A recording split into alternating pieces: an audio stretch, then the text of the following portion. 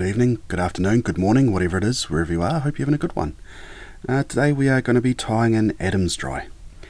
Uh, a little bit of a variation on the one we all know and love at the moment uh, with the uh, grizzly and brown tail. Uh, we're going to use golden pheasant tippet. Um, reading some stuff in Midcurrent and Fly Tyer magazine and it sort of indicated that the original pattern may well have been tied with that or was tied with that uh, to be changed uh, later on. I think it's quite a cool variation, so we're going to give that a go. Uh, beyond that, we're tying it on an Ahrex FW501 dry fly hook. Um, you can tie them small, big as you need to, but I'm um, filming on a size 12. Uh, body, we're using the Semperfli Kapok. Uh, awesome, awesome floating dubbing. Uh, if you can get your hands on it, well worth it. just using it in, believe it or not, the Adams colour. wings, just some grizzly feather tips uh, from neck. And then for the hackle, it's the classic mixed uh, brown and grizzly uh, saddle hackle from Whiting. Uh, but we'll crack into it. Hope you enjoy it, and I hope you find it a handy pattern. Cheers. Alrighty, uh, thread today, Semperfli Nano Silk.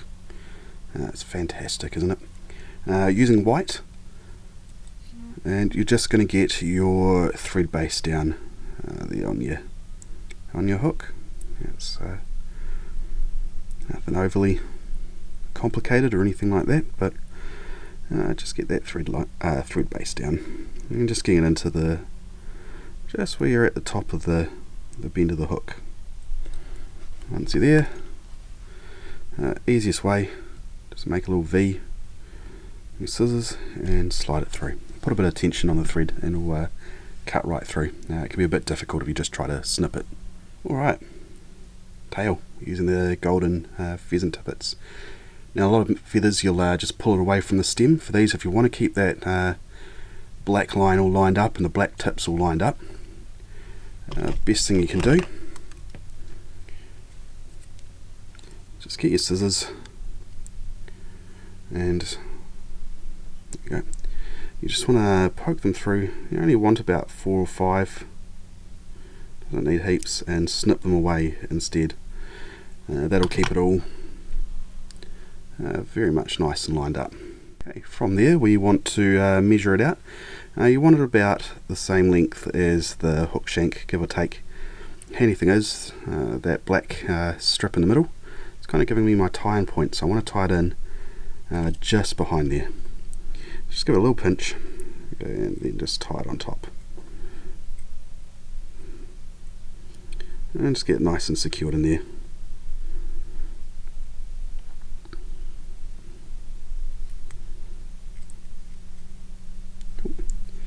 And then we're just going to snip away the tag ends.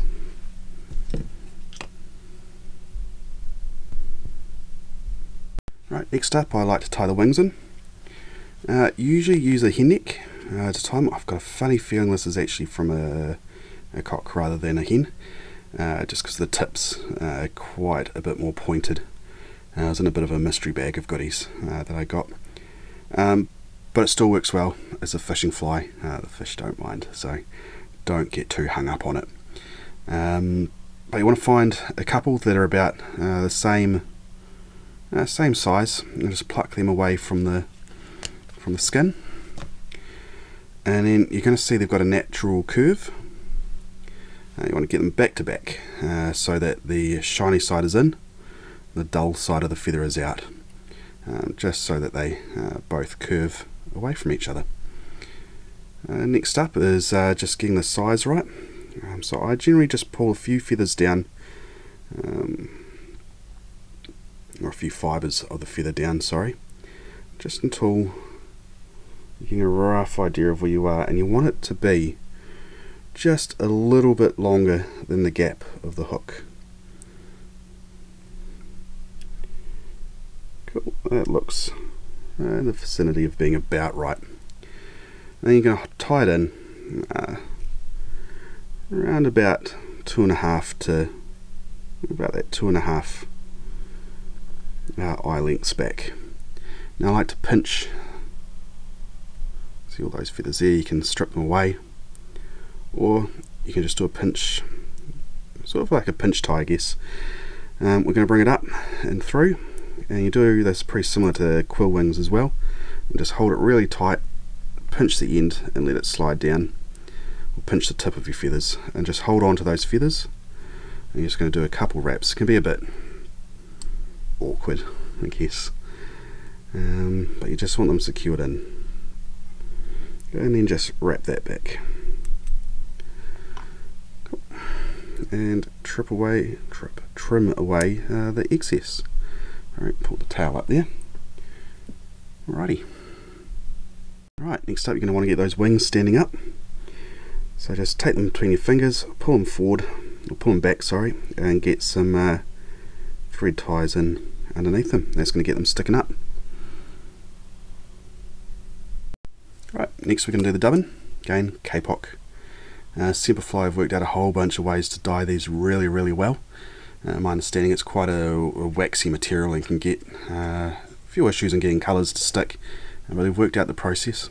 They look fantastic. Uh, there's a whole bunch of colours from naturals through the fluoro colours as well. Um, but the stuff floats amazingly. Um, I've heard stories of people uh, leaving some in a cup of water in it floating still weeks later. Uh, used to be used in uh, life vests or life jackets and boats as well. So uh, anyway, uh, you take a, just a little pinch. Um, you can split the thread as well, which um, apparently is a better way to do it. Um, but does give you a bit of a fuzzy body I've found.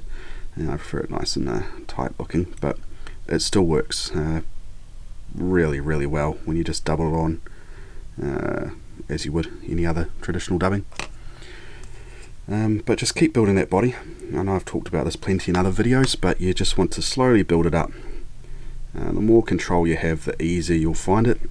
So don't have you know a foot of uh, thread out of your uh, tying bobbin, just inch at a time.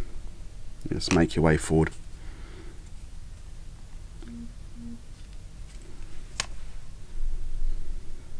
And just keep on going.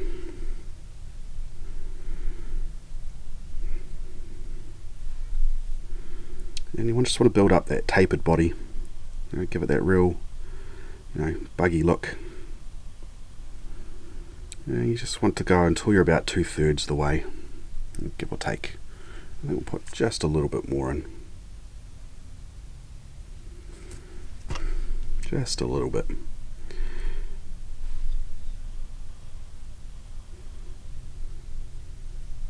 cool and then we'll move on to the hackle right uh, onto the hackle. Uh, it can be a little bit tricky, but uh, hopefully I'll explain in a way that makes sense. But the Adams uses a double hackle. It's got grizzly and brown. Uh, you're just going to tie them in initially, one at a time, to prepare them. You pull away some of the fibres from the stem, and I take it a little bit further uh, on one side of it, uh, the side that's going to be wrapped down first.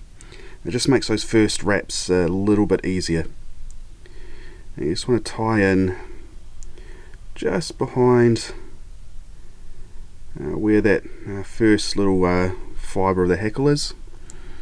Right, let's just secure a couple in front of it there and then just get it in and just fold it back so it's uh, nice and secure and it's not going to slip out. Cool. Trim away the tag end and then take our grizzly. Get that up there. Now I like to tie this so that it is on uh, the opposite side of me of the hook or of the um, other feather. So it just slots down uh, beside it there. And just get it lined up nicely. Just again just use a little bit of a pinch wrap or just pinch it to hold it there rather and just get that sometimes you're going to trap the fibers of that wing but it's alright it's no biggie.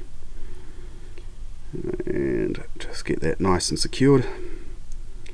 And you want to try to have as smooth a thread base as you can. Where you're going to tie the hackle in the smoother it is the nicer it'll look. If you're not overly worried then don't worry too much. And just trim away uh, again the uh, tag end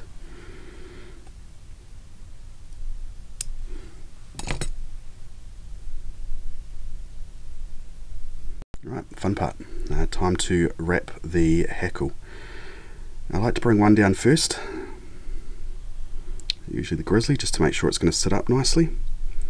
Be a little bit fiddly here. You might lose a couple to not look too great, but you can trim them later. Now some people, they like to wrap it one at a time. I just like to do both, just, yeah, I find it works fine. Uh, and just touching wraps as you move forward, just so that brown wrap uh, is up against your last grizzly. And just keep going. You're going to catch a few along the way, but it's not the end of the world.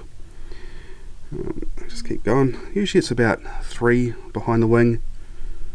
And if you've moved the wing forward, just pull it back. It's pretty easy.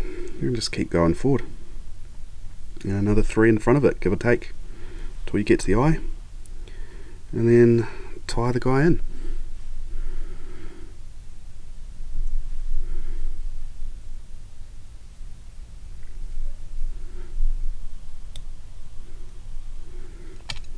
Snip it away.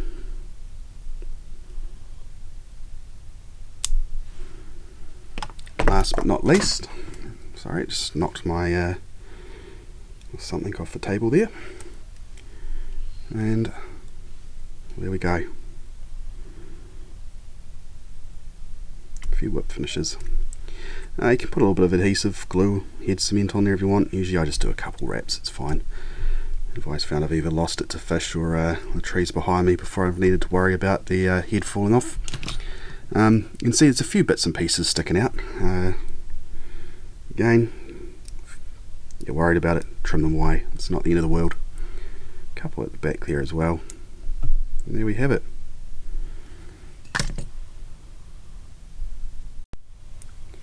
There we have it, the Adams dry fly. Uh, classic for a reason, I think. It just catches fish everywhere. Again, mixing it up, using that golden pheasant tippet for the tail. Adams Kapok dubbing, uh, which will just float forever. And Ahrex FW501 dry fly hook. Uh, the feather tips, or hen uh, neck feathers for the wings, or in my case, the, the cock neck. Uh, white Semperfli 30 denier uh, nano silk and the brown and grizzly hackle. Again, it's an awesome fly. Um, you know, there's a whole lot of different variations around the world, uh, around the place. You know, from the Irresistible to Para Adams and a whole lot of others. Um, hope you've enjoyed it. I hope it helps, and uh, happy tying. Enjoy. Cheers.